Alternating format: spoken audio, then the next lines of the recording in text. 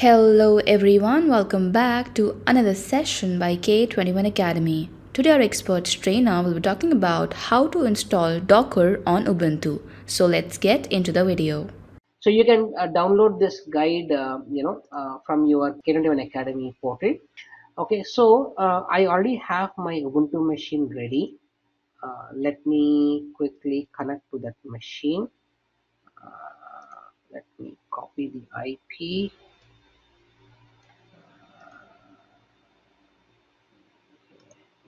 Uh,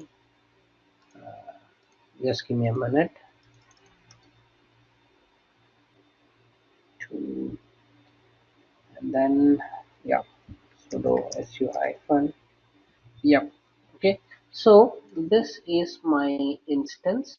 Okay, my uh, instance running on the AWS environment. It's a just normal normal Ubuntu machine, uh, which is you know it's a fresh machine. It doesn't install. I have not installed anything yet. Uh, and then uh, let me increase the font size so that you can see it properly. Change settings, appearance, change, and 16 more.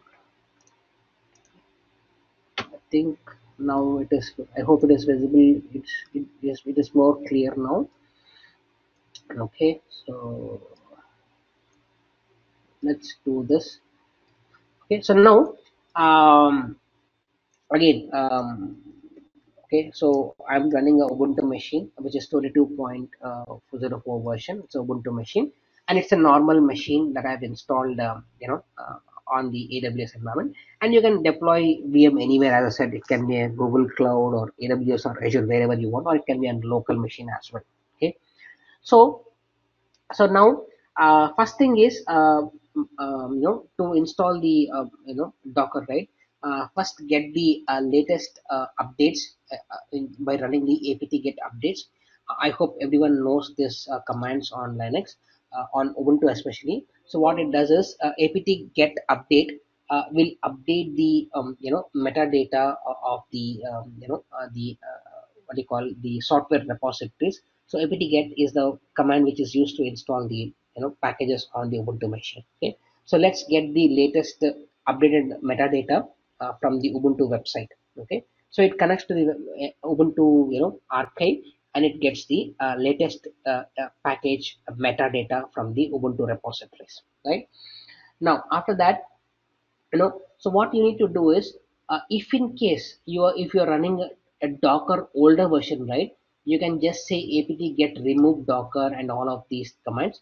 But i'm not running this because this is a freshly deployed machine which doesn't have any docker on this machine. So if you are already running a docker and if you want to reinstall it so remove this older version and then run the new version. If not you can skip this uh, you know command. It's it's an optional command. Okay. Now the next command is again uh, apt get update we have already done so there is no need to run that so the next thing is there are some dependencies that you need to install on this particular the client. That is um, ca certificate. This is one of the uh, package that you need to install. Curl is the web browser that we need to install. Because using the curl it it fetches a few uh, gpg keys and uh, some few parameters. And you, of course you need this curl and wget uh, as a web browsers.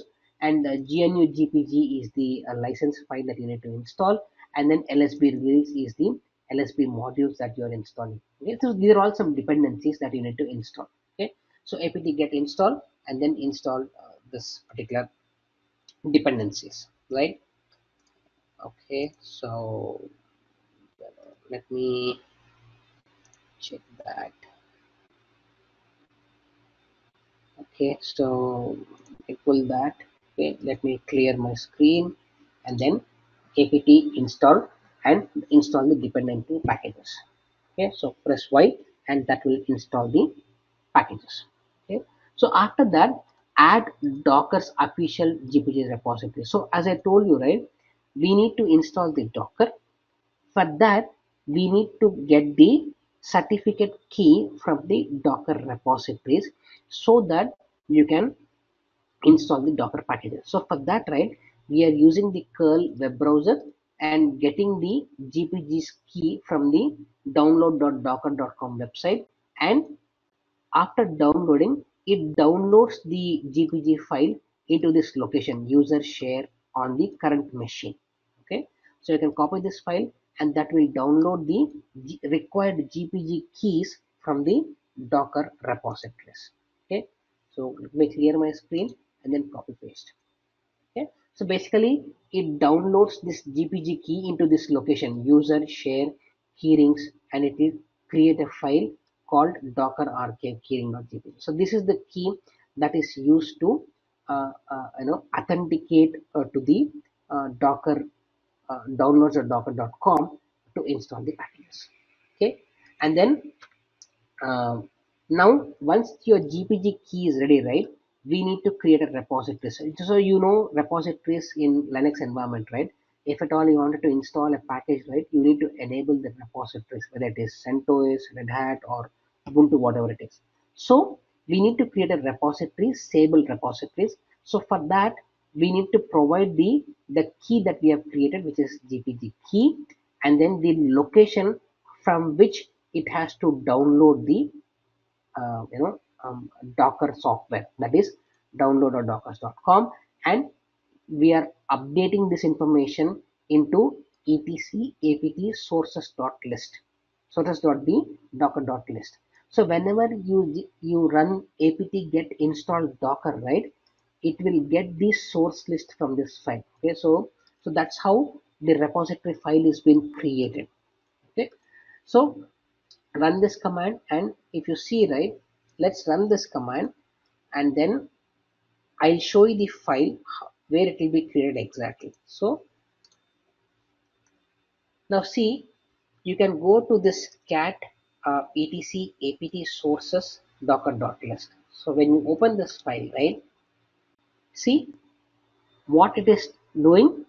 It is use, using the debian uh, deb uh, uh, what you call uh, command and the architecture is AMD64 and this is the signature that we have downloaded previously. And it will download the packages from this website that is download.docker.com slash linux slash ubuntu. Okay. So this is the location from which the packages will download. This is the uh, signature file which it gets authenticated to download this docker software. And this is the version of the architecture of your current ubuntu machine or architecture of your uh, docker software because this architecture should match with the architecture of your uh, you know uh, os that is you can say uname hyphen a. So uh, this architecture and this uname should match. Okay? So now once this file is done just run the apt get update okay so that it gets the latest metadata from this docker repositories. Okay, apt get update see see it gets see there is a download it gets the updated metadata from the docker.hub.com okay? So now your uh, repository is ready. Now the next thing is you need to install the docker. So for that right so apt install docker ce that is the community version. As i told you right docker has two versions ce and ee okay? Ce is community version and ee of course you need the license and all those stuff so that's why we are using ce and again we also seen right we have two phases. One is docker service daemon and docker cli so docker c cli is the tool which is used to uh, which is used to uh, run the commands.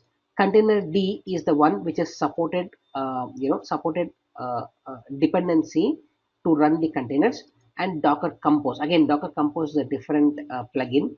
That's a different you know uh, concept altogether. Don't go into that as of now because you need to learn a lot of other things before compose. So compose is one of the plugin uh, that is used by docker uh, to create a complex um, you know environment. So that we will discuss later you know, whenever we are discussing docker compose. Okay? So run this command and that will install the docker and its dependencies okay so let's copy paste that and then install the docker services and press y and that will install the docker on your machine okay so once this is installed you need to start and enable the Docker daemon. Okay, because if you don't enable the daemon, whenever you reboot this machine, the Docker service will be in the disabled state. Okay, so wait for this to install. Okay,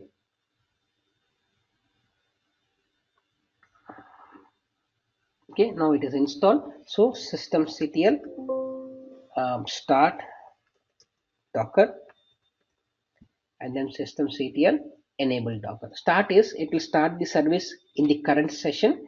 Enable is even if you reboot uh, the docker service will be uh, started automatically even after reboot so that's the you know, meaning of uh, systemctl enable uh, docker.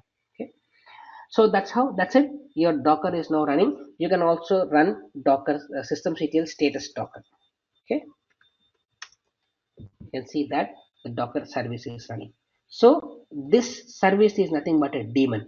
That is server. That is nothing but your see docker application container engine. This is nothing but your container engine the software whenever you run right that is nothing but a container engine.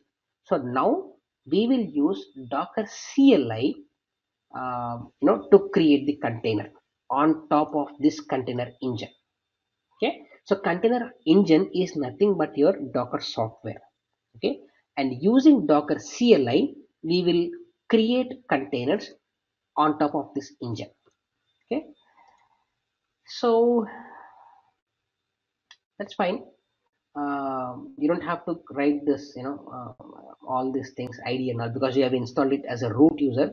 If not you can add that id that's fine. So because you have installed it as a root user. So now we can run few commands. That is okay let me clear my screen. You can say docker version. Okay. So this is one command that you can use. So this is this docker is nothing but a cli this command whatever you see right this is cli command. So it prints the version of the docker and the version of docker is 201016 so that's the version and this is the build number of the docker that you're currently running. Okay? Now so that's simple uh, you know um, and i think you have docker info also docker info. Okay? You, it will it will give you a lot of information like you know again uh, don't bother about this information we will understand more uh, when we um, when we when we practice more in docker. So there's a client version and you will see uh, some information like see docker root directory var lib docker. So all your containers whenever you create it will be created or saved inside var lib docker. Okay so these are some parameters that you can check and this is a ubuntu os version kernel version architecture os type and all those stuff that that's docker info and docker um, you know um, uh, docker version. So guys, this was our expert from Team K21 Academy. And if in case you missed upon any concepts or if you want to dive deeper, then we have something really really special for you. We have our free class on Docker and Kubernetes certification to get you higher paying jobs. And in this interactive session, we'll be learning about why learn containers, that is Docker and Kubernetes. You'll be learning about the whole Docker container architecture. You'll be getting to know about some hands-on demo. You'll be getting to know the certifications regarding Kubernetes, CKA, CKS, and CKAD. And we do have Q&As along with a limited time gift. So if you want to enroll for this free class, all you have to do is just log on to k21academy.com forward slash k8s02. And after that, you just have to click on book your free seat now. And after that, you just have to select an event date according to your availability, add your name, your email address, your phone number, and click on Yes, Save My Seat. Moving ahead, you'll be seeing this kind of URL. You can add this URL to your calendars, and I'll see you in the free class. Till then, take care and keep learning.